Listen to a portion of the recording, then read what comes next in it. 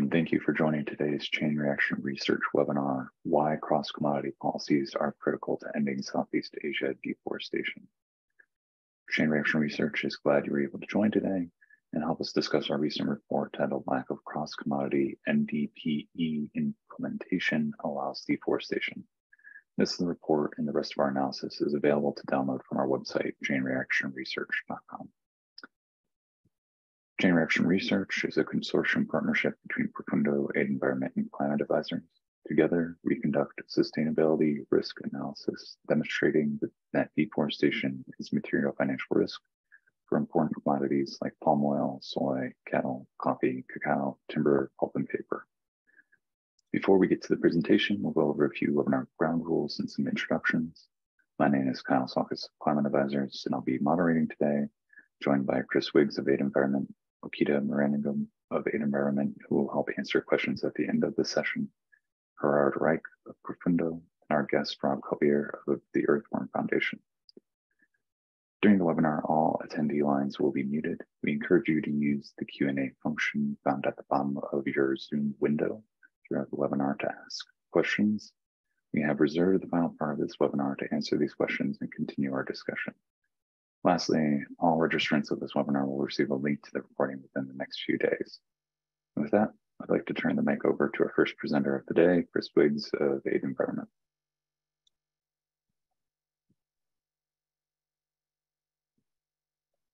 Hi, thanks, Carl. Hello, everyone. Um, yeah, so I'm going to be talking a little bit about the application of no deforestation, no peat, no exploitation policies, and why we believe they should be extended across commodities. Next slide. So NDP policies now dominate the palm oil sector. Um, analysis that CRR did um, a couple of years ago um, calculated that 83% of refining capacity in Indonesia and Malaysia, which is where most refining of palm oil takes place, are covered by NDP policies. And they now dominate the upstream, midstream, and downstream sectors, with most large companies having um, a policy that um, forbids um, deforestation and development of peat and exploitation. One of the things that's um, key to understand about NDP policies is that they're typically only applied at the palm oil level. So if there's deforestation for oil palm in a supply chain, the NDP policy will be enforced. But if the deforestation is detected is for another commodity, even if it's by the same company, it falls outside of the scope of the policy. Um, and if you want an example of that, you can just look at the um, grievance lists of most of the main traders. They will often have examples of a case of deforestation that they have investigated, and they have, through their investigations, um, undercut, uh, um, uncovered that the deforestation is not for oil palm, therefore they won't do anything about it. That supply will remain in the supply chain, and just because the deforestation is not for palm oil, it's it's it's just not really considered as part of the policy. That means that a lot of deforestation in companies are still finding buyers in the palm oil sector, and NDP covered supply chains, which are should be deforestation free, which are often claimed to be deforestation free, are not in fact deforestation free. They may be free of deforestation for oil palm, but the companies within those supply chains are clearing forest. It's just not for oil palm, so it doesn't fall within the scope of the policy. Um, in Indonesia, you you most often see this um, in the industrial forest sector, so the HTI sector, which is often um, referred to. You will sometimes see it in mining, and in other commodities, but it's most common in these two sectors. And in Indonesia, 64% of all industrial forest plantation permits are held by company groups that also grow oil palm. You see it a lot in Sarawak as well, where the six largest companies in oil palm plantation development are believed to hold 69% of Sarawak's industrial tree or forest plantation concessions. There's a lot of overlap between industrial forest and oil palm sectors, and the concessions are often very close to each other if you go anywhere in Indonesia, you'll often be on the road in between an oil palm concession and an industrial forest concession. So eucalyptus, acacia, rubber, plywood tree species, and they'll be operated by the same company. Next slide. And this is just an example of some of the key companies that you might know that operate in both sectors. So Royal Golden Eagle, you'll often know it. Um, in the palm oil sector is Asian Agri or Apical. In the timber sector, it's April.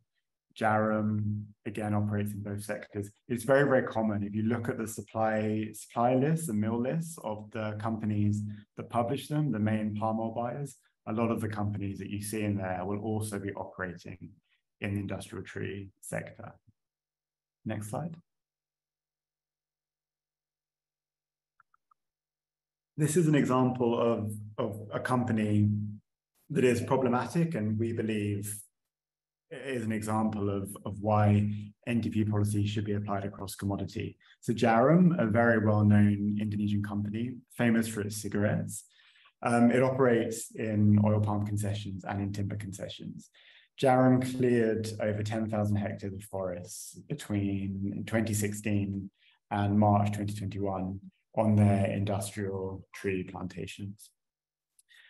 They've since stopped clearing, but there was huge amounts of deforestation that was covered um, quite extensively by NGOs within Indonesia and internationally, and within uh, the media in uh, Indonesia if you've been working in this sector in the last few years, Djarum is a case of deforestation that you would likely have heard of.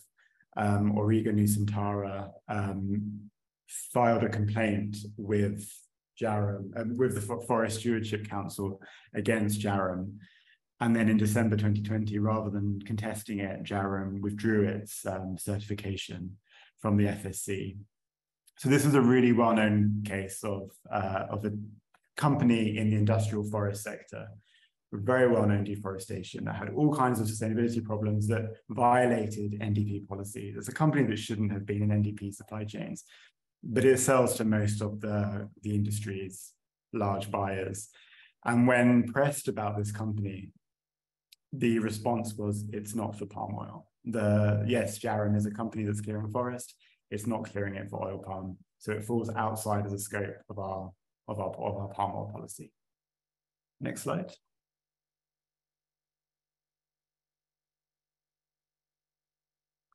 So if you look at the case of and there's numerous examples that you can use, we believe that it's necessary for the scope of NDP policies to be expanded. So they don't just focus on oil palm, they focus on every commodity that you're that uh, palm oil buyers, suppliers are operating in. And we've been talking to companies in different parts of the sector about this for a long time. There are numerous challenges to expanding the scope of, of policies that we acknowledge. Um, the one that you often see is that the different sectors that a company operates in will be under different management. Um, this makes engagement very difficult. If you go to your um, palm oil supplier and talk about a different part of their business, they will often just say that we have no um, influence over that. It's a different part of, of the business. You heard that argument when NDP policies came in, when um, they were first applied at mill level, and then many organizations advocated them being um, applied at company level. So that's a challenge. It's not insurmountable, but it's one challenge that you often see. You often see that demand for cross-commodity policies are considerably low. It's at the moment being led by NGOs and some, some downstream buyers, but largely by civil society and NGOs. Um, and verification is, is more difficult for issues outside of the commodity that the company is directly sourcing from. If you're buying palm oil, then you have um, influence over your supplier. You can talk to them about the supply, you can talk to them about due diligence activities you have. When it's about another commodity, then it's obviously much more difficult. However, as well as these challenges, there are lots of opportunities for um, NDP policies to be expanded. There's a big discussion at the moment about what is a company group. Um, that's being driven by civil society, by many different organizations, by the RSPO, which is currently assessing a couple of complaints that um, refer to companies um, that may be, may be operating through other companies that appear to be linked to, but we can't really prove it. And there's a lot, lots of discussion about um, what sort of framework should be used to define a company group. This is obviously very relevant to it because you're looking at an entire company's operations and not just one branch of that company. There are opportunities for all stakeholders in the sector to embrace these policies. NDP policies came in and were originally adopted by the midstream, then it was taken up by upstream, then by downstream. There's lots of opportunities now for financial institutions to um, start looking at cross-commodity application of policies. One of the things that's quite key if you're talking about the industrial forest sector is that it's relatively easy to detect um, deforestation in that sector. Any responsible palm oil buyer will already be monitoring industrial forest and logging concessions because they operate in the same landscapes as, as oil palm plantations. So the provider that um, a company works with will be picking up the deforestation and they'll just be excluding it because it's not for oil palm, but it's very, very easy to detect deforestation on timber and industrial forest concessions. Um, and it's just a basic question. NDP policies were implemented, adopted and implemented because palm oil buyers didn't want deforestation in their supply chains. If you're buying from a company that's clearing forests, you have deforestation in your supply chain. Yes, it might be for a different commodity and you can perhaps justify it. But when you talk to companies, when you talk to consumers, it clearly violates the, the sort of ethos of an NDP policy, which is that there shouldn't be deforestation. And to claim that your supply chain is deforestation free, it has to consider all the commodities that your suppliers are operating in. Next slide.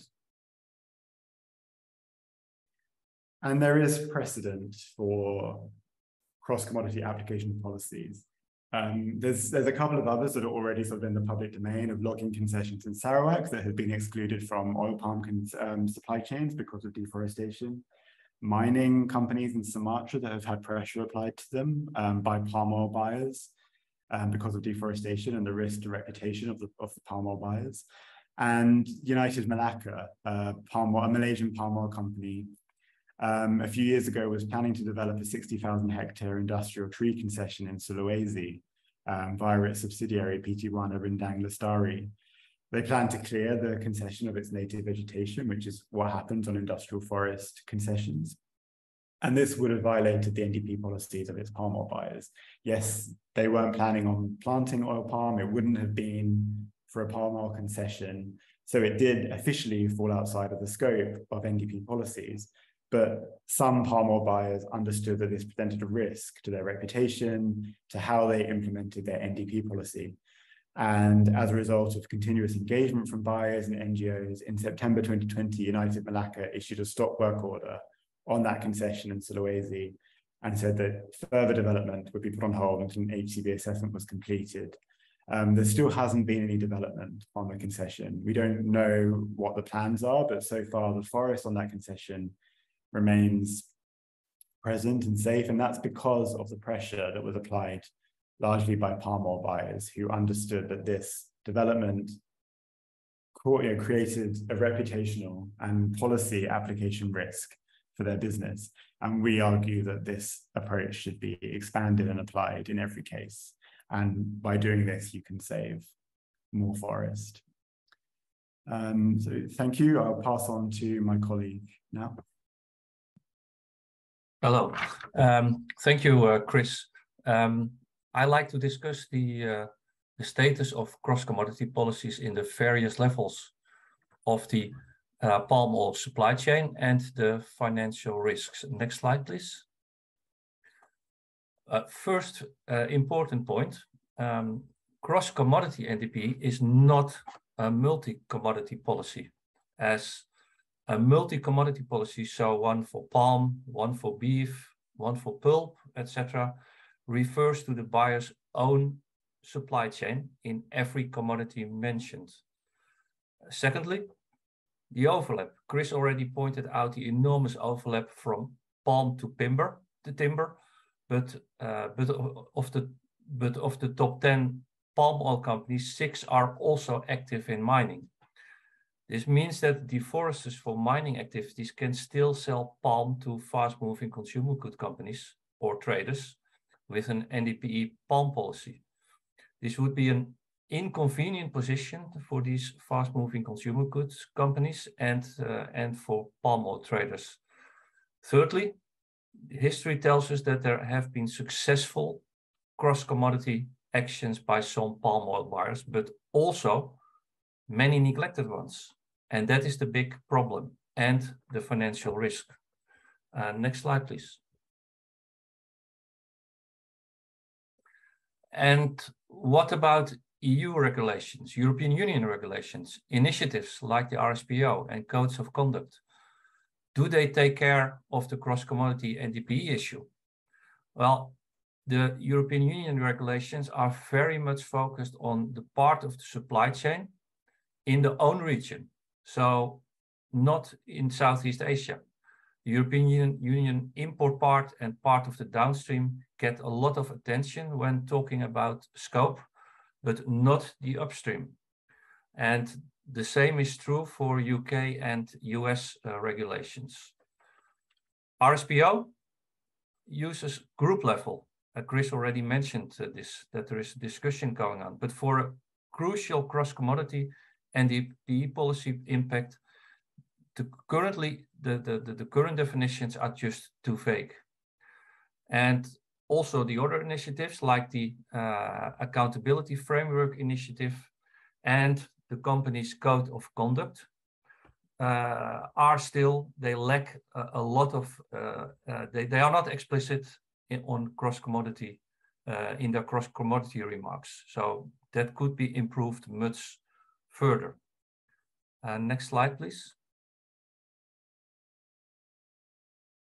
because of this policy gap, the whole palm oil supply chain, which is, by the way, quite successful in banning out deforestation, can be affected by deforestation in other non-palm or non-palm activities of their palm oil trading partners. The graph shows the crucial supply chain levels. Um, in this presentation, we will discuss the position of midstream companies, traders, processors, and uh, fast-moving consumer good companies, uh, of retailers, fast food companies, and last but not least, financiers, which are not on the sheet, but which are, of course, financing every part of this, uh, uh every level in this uh, supply chain. Um, an interesting observation is that 16 16 out of 21 leading palm oil plantations have an NDP policy, versus only three out of the 21 leading tree growers or timber companies. In mining, there is no uh, NDPE policy, zero. These numbers and the success of reducing deforestation in palm emphasizes the crucial position of palm oil of the palm oil chain uh, and also that the palm oil chain can be leading in cross-commodity policy uh, implementation. Next slide, please. Uh, refineries and oleochemical companies have a crucial position. As, for instance, the top 11 companies see approximately 68%, so nearly 70% of all the crude palm oil and crude and, and kernel palm oil volumes going through their hands. That's a very high percentage. Uh, while they have all quite a good NDPE policy, there is a lack of cross-commodity NDP policy in this group with vagueness over definition of group level and even statements that only the palm oil relation is subject to NDPE policy.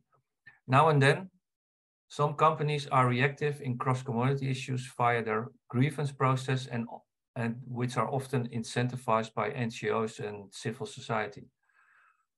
Uh, the problem in this group is the current lack of leadership uh, by Wilmar, uh, as well as the strong increase of the biofuel segment. And clients in the biofuel segment, the problem is that they don't ask questions.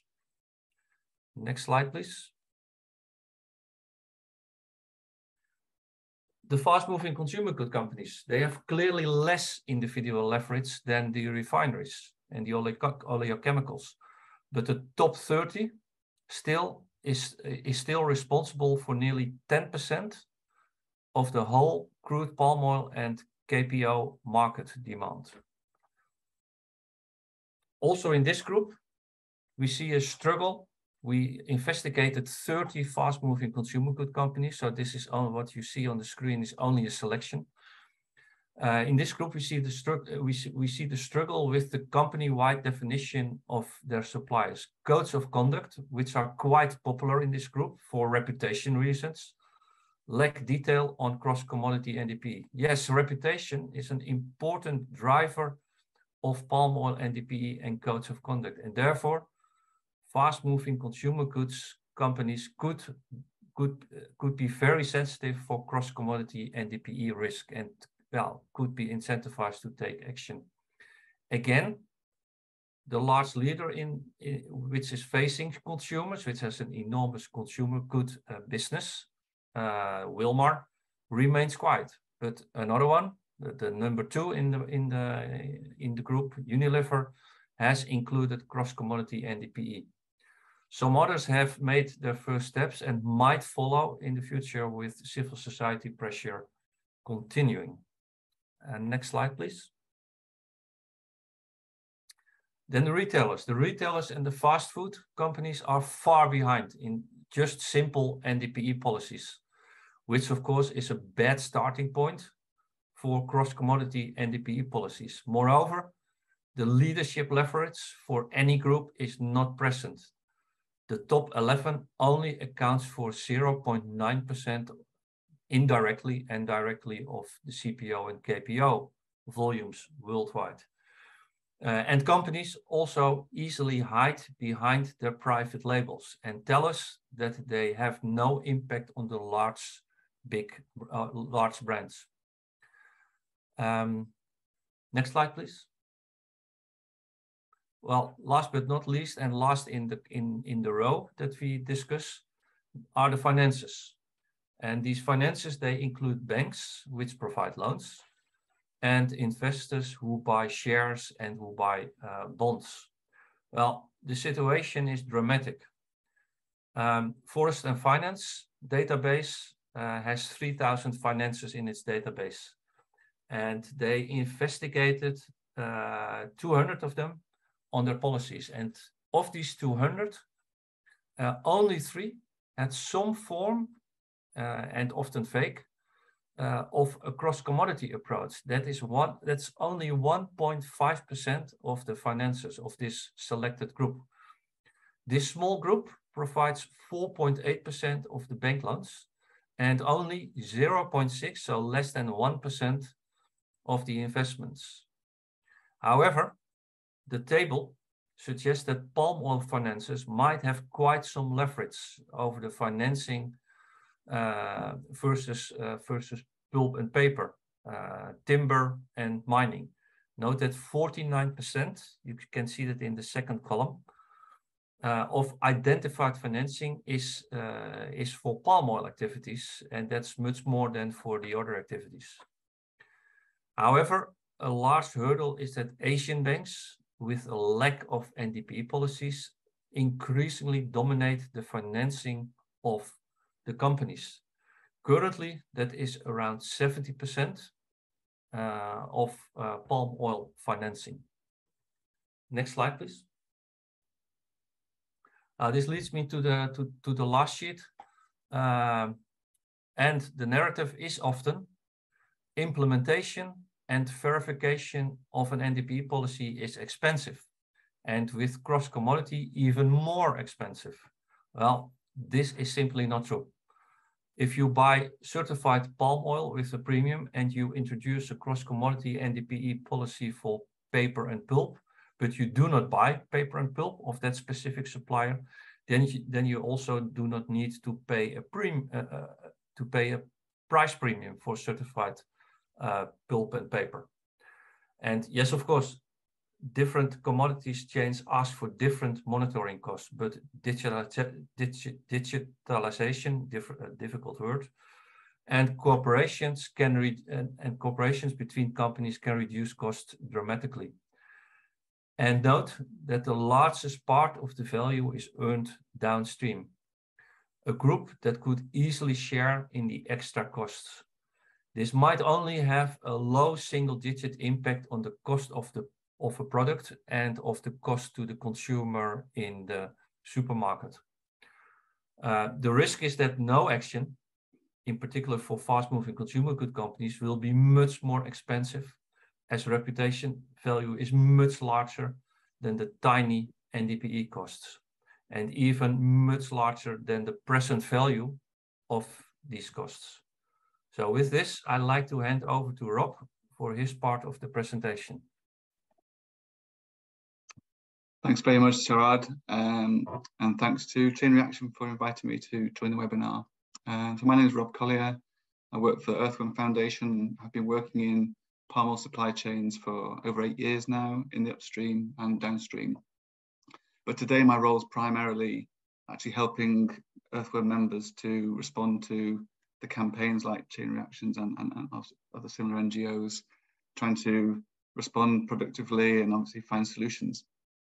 Um, that's been primarily in palm, but now is expanding more to to encompass other commodities. So this topic is particularly relevant to me today. So yeah, so thanks again. Next slide, please. So just very quickly about Earthworm Foundation. Um, as maybe a lot of you know, we used to be called the Forest Trust. We've been going since 1999. Uh, without going into all the details of what all the work we do, it's obviously primarily a field-based organisation. And I think most relevant to today there's sort of two principles I think that underpin all our work. And one is to understand the lived reality on the ground as the heart of any solution. And the other is that all actors in the supply chain have a responsibility. Um, and what we find is, you know, for those downstream or brand companies we work with, the challenge is to bridge the gap between that lived reality on the ground and, you know, their position several stages up a supply chain. And you might argue that a cross commodity approach you know, if it is a further complication. So I'll touch on um, so the you know the attitude to cross commodity of downstream and brown companies. Um, look at why it's not really necessarily taken root yet. You know, obviously Unilever accepted, um, but what actually has already started to happen and what can happen. Um, and also note that chain reaction. Obviously, I was talking about palm oil as, as, a, as a platform from which we can build, and we'd absolutely agree. So with that in mind, I thought I would sort of chart the um, chart, chart the path of the campaigning and how that's been responded to through the work. Uh, next slide, please. So just to keep it sort of very simple, you know, I think the camp, you know, so much of what we do is is driven by campaigning. So you think about, you know, from about 2011 or the campaigning was very much just targeting the whole industry. And you know, that's where boycott palm oil message was very strong. And what we found in our work was to have to, how do you tackle that at such scale? And the, um, you know, the way is to break it down like any problem, break it down into chunks. And one is through a policy commitment, is through basically transparently, you have to find out where the problems are. And a lot of that work was focused on the refinery level company in the upstream and with that responsibility of opening things up. And what you did find then is the campaigning became much more focused, and whether it be in geographies, whether it's you know the corporate groups, supplier groups with problems and specific topics, and through that you then see the response that you know rather a, a transactional response saying, well, either you remove that supplier or you fix them in some way.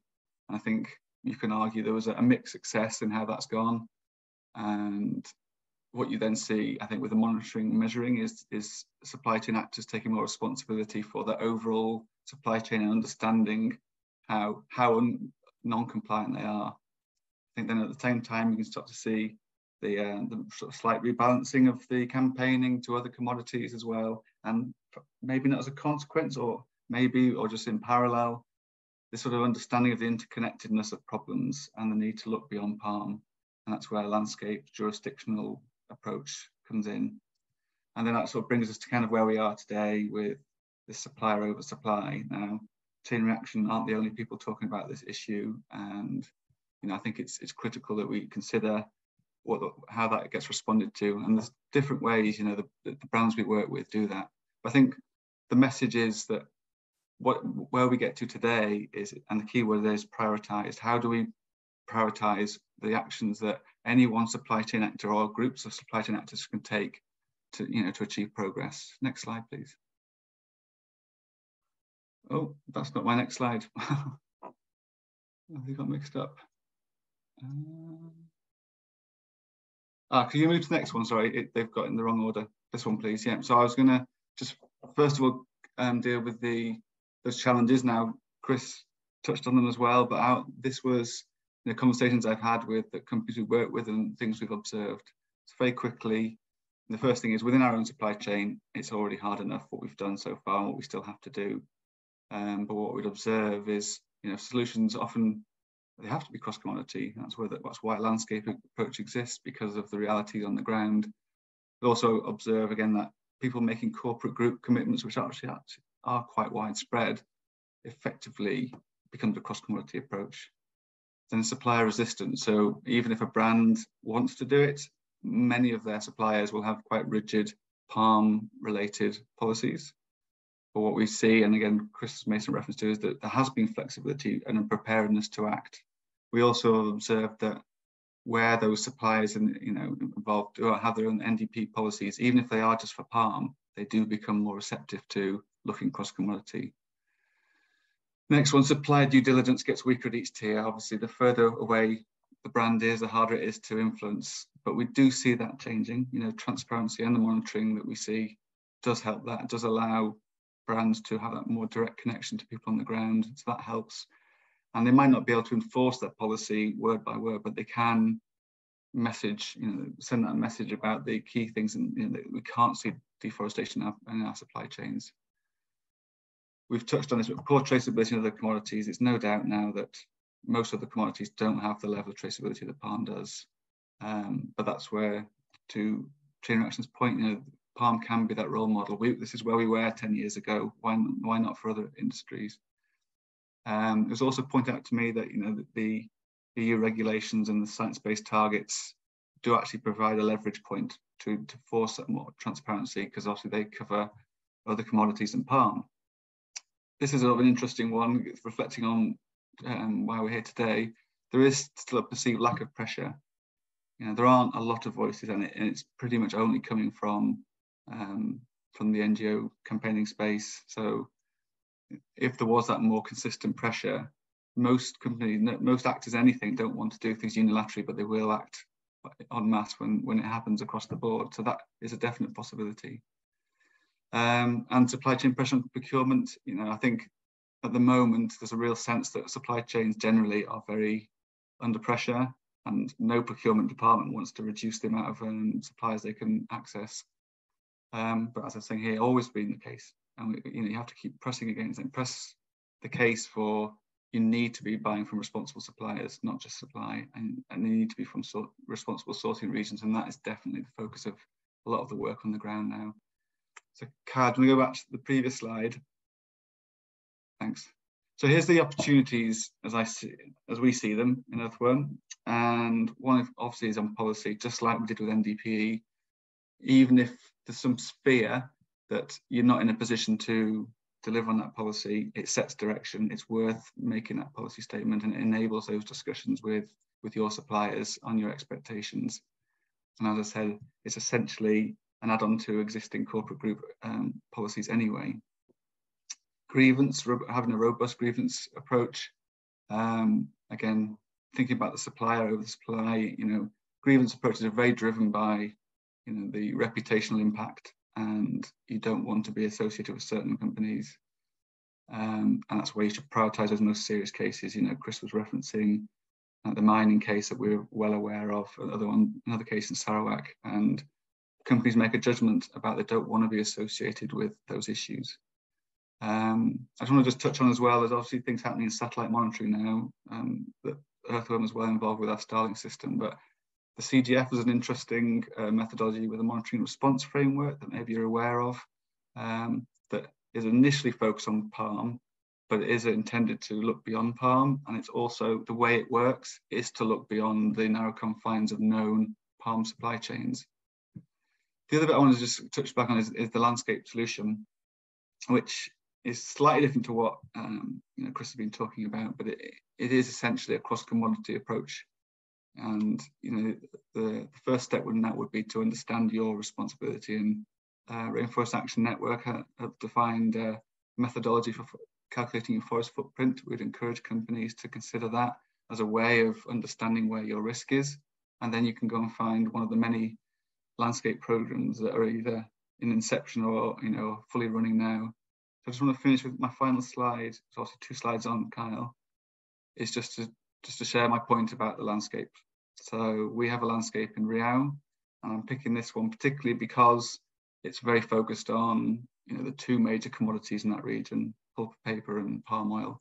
And uh, I won't go to all the detail of what's on this slide, but you can see the vision there, and it is about creating a, a responsible um, sourcing landscape, and that that is inevitably focused on um, the communities that live there, the smallholders, the agreement with the, the government on how land should be used, and you know that the companies involved in pulp and paper and palm and any other um, commodity, you know, are responsible and and meet and, meet um, people's policy commitments. So that's definitely where we see the focus.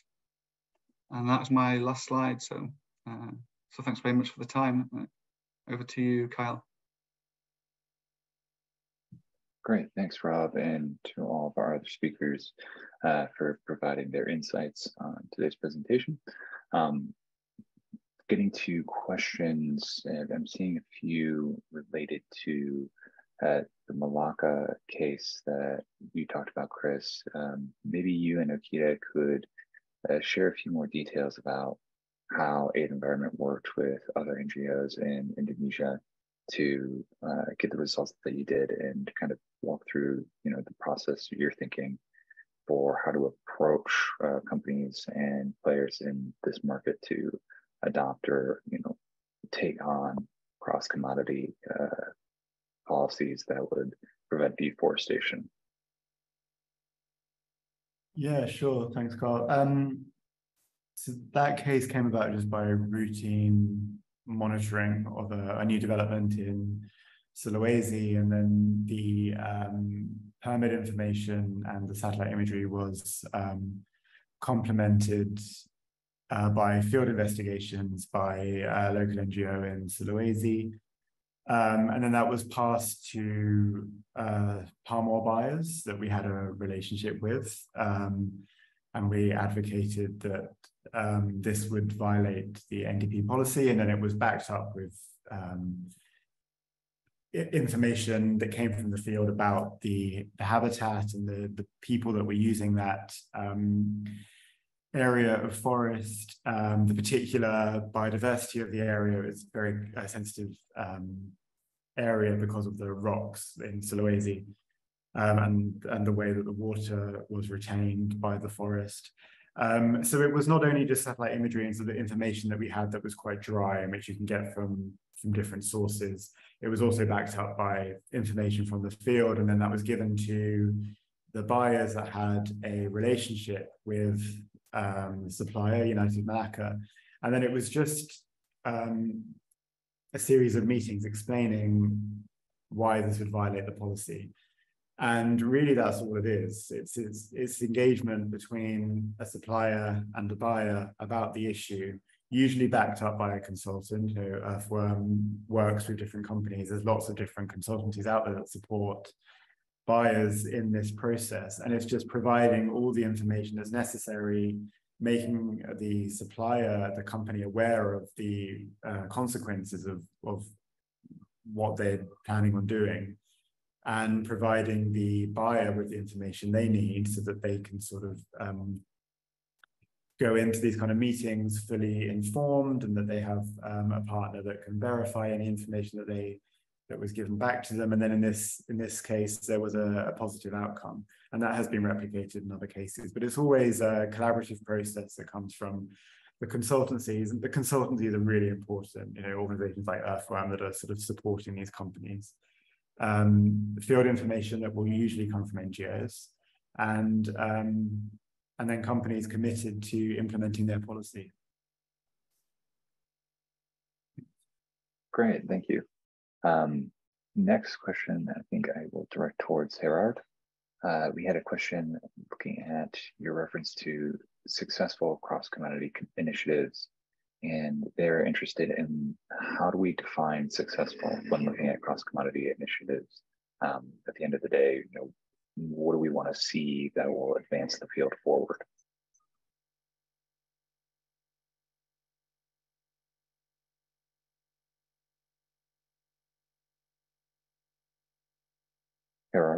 Uh, you might be on mute. Yes, sorry, I was on mute.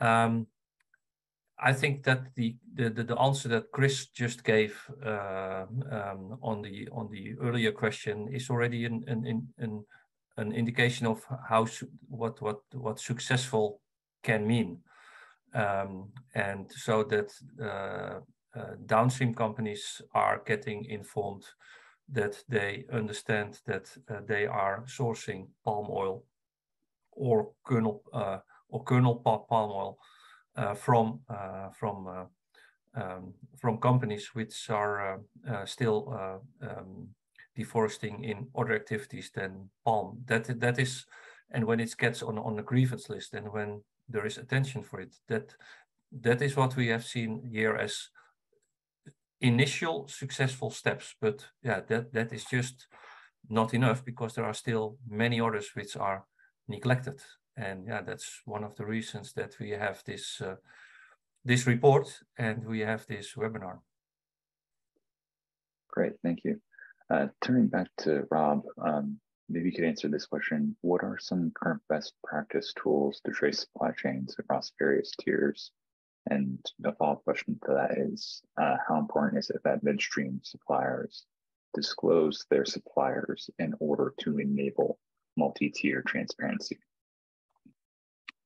Well, it's it's just absolutely critical. And in terms of tools, uh, I mean, we've been working on the traceability side of things for most of the years that we've been involved with palm oil, and it's it's not a high tech solution. It's just a process of gathering the data. And today there is very good data in palm that you know. And I think the other thing to note as well is is the sort of the key leverage points in supply chain. So in palm, we know that a refinery in the producing country is an important sort of commercial hub and, and kind of the, the, the unit of measurement, the main unit in the palm is, is the palm oil mill because that then, then gives you that connection.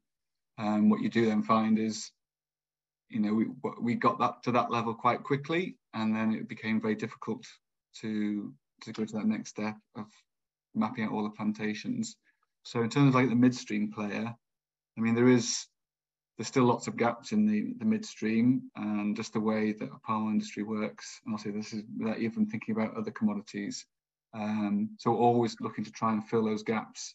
Um, but in the end, the most important thing is to get to the ground and particularly thinking about um, you know, the fact we've got satellite monitoring solutions out there now that means once you can find where it's from on the ground, then you can watch it. And that's vital.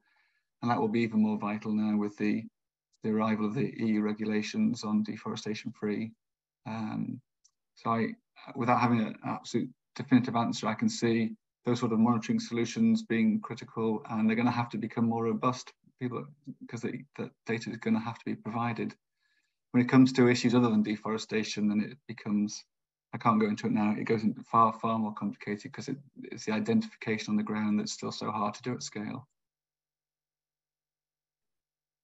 Yeah, uh, I imagine we could have a full webinar uh, diving into that topic, but uh, the EU regulations and uh, SBTI and other reg regulations being proposed in the US and UK are definitely having people, you know, be more aware and proactive, hopefully, on this front. Uh, turning to the next question, uh, Chris, maybe you could step in. Um, since most of the companies with NDPE policies are members of the RSPO, uh, what should we see the role of RSPO being in the cross-commodity policy discussion? Thanks. Yeah, there was another question about uh, comparison to the FSC's policy of association. Um, the, the RSPO will only adjudicate on anything to do with, with palm oil. That's always been a frustration with them. Um, with the membership rules a few years ago, that anything that wasn't was outside of the palm oil sector, they just wouldn't adjudicate on it um, and that the scope of their operations are palm oil. So I don't see that changing. It's understandable, as frustrating as it is. The RSPO is also a membership-led voluntary organization, so any changes in the RSPO have to be driven by members. And if if companies company members wanted the RSPO to sort of adjudicate on this, they could they would have to push it themselves to get the RSPO on board. Um, I, I think it's just the RSPO is always going to say it's outside of the scope of their operations because they are the RSPO and anything to do with non-palm oil um, issues, even among RSPO members, um, they just they just won't adjudicate it. We're we're hopeful that they will provide some clarity to the mem um, the group uh, company group definition through the complaint system. Um, it's difficult to know how much power they have and what they can enforce, but just the fact that the RSPO, which most reputable companies are a member of, is adjudicating on it and will pass down some kind of judgment. Um, that's always useful to have. Um, but I think in terms of this cross commodity issue, the RSPO will always say it's outside of their scope. Thanks. Thank you. Um, Gerard, I'd like to turn back to you for this question. Uh, do fast moving consumer goods companies also have policies for their suppliers to be fully uh, NDPE uh, policy compliant and, and not just for their own demand? So I'm, I'm taking that as uh, they have no deforestation for the supply they provide an FMCG, but also an FMCG is looking at their supply to other companies and making sure that that is not uh, tied to deforestation as well. Yeah. Um, no, there are not many. Um, and uh, the, the, the, the, the focus of most fast moving consumer good companies is only on the material that they buy. And they think that they are, uh, when they have done that, then that that is really enough. And um, um, and well, that's also that's also the, the the, the the feedback that they get from many investors uh, which are already very happy. And that's what one uh, very crucial uh, investor told me. They are already very happy when a uh, fast moving consumer good company has everything uh, okay in its NDPE policy. So a good policy and a good verification. Uh, so a good execution. So then they're already happy with when they have it in place in Palm and do it for 100%. And um, and yeah, and and and the next step, yeah, that is just uh, it takes time. It takes time. That uh, um, uh, also eh, based on this kind of uh, of uh, of uh, webinars and reports, that there will be the next next steps. Yeah, there is one company with that we found, and that's Unilever, which has it in its which has this scope issue um, in its uh, uh, palm oil policies, and all the others don't have it. Thank you. Great, thanks. Uh, so then this next question, I think you know maybe would go to Rob or potentially you know Chris or, or Kita. You might be able to answer it. Um, maybe starting with Rob. How does Earthworm and others uh, check the no exploitation commitment other than through the RSPO? Um, how are you monitoring that and, and, keeping up to date on that? So I missed the first bit of the question. I'll say it again. Uh, how, how is Earthworm Foundation checking the no exploitation commitment uh, other than through the RSPO?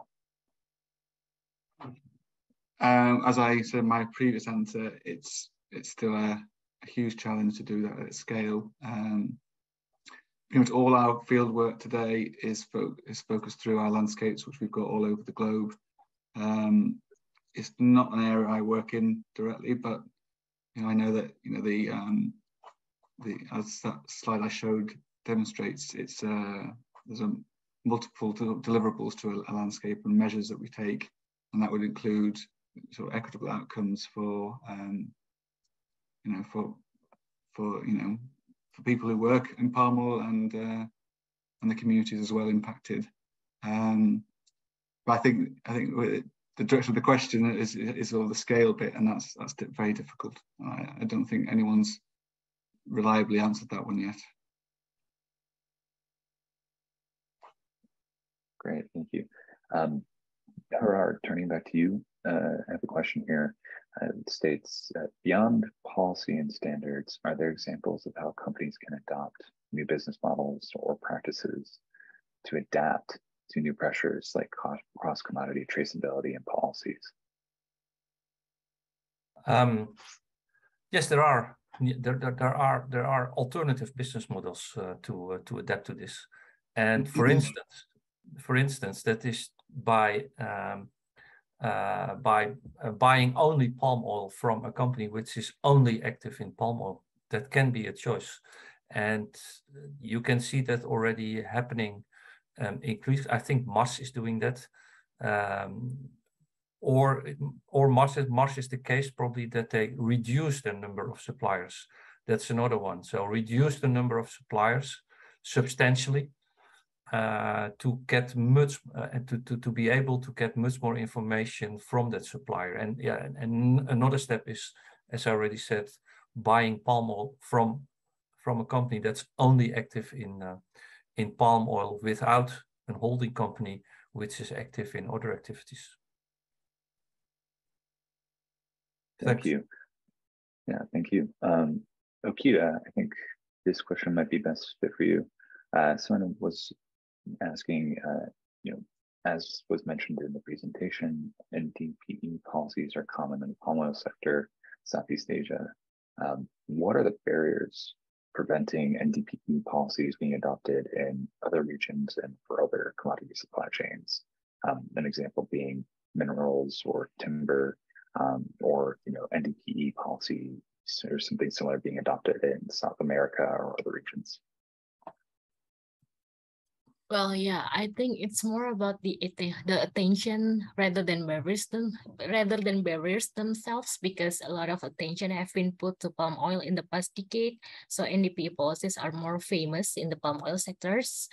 Uh, so that uh, that is how these NDPE policies evolve in the palm oil sector more other than other sectors. Thank you. Great, thank you. I believe that is the end of the questions that we've received uh, through the Q&A function. Uh, we appreciate everyone's time in joining today's session. Uh, the report uh, that inspired this webinar uh, is available for download on our website. And a special thank you to Rob from the Earthworm Foundation for joining us today. And be uh, on the lookout for an email with a link to the recording of this webinar within the next few days. And we look forward to seeing you on our next webinar soon. Thank you.